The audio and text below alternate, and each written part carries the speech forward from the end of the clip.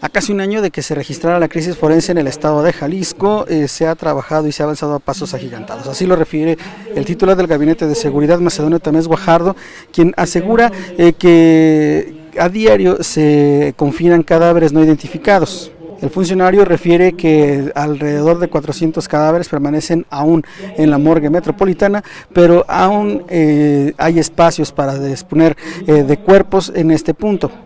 Informó Juan Carlos Huerta Vázquez.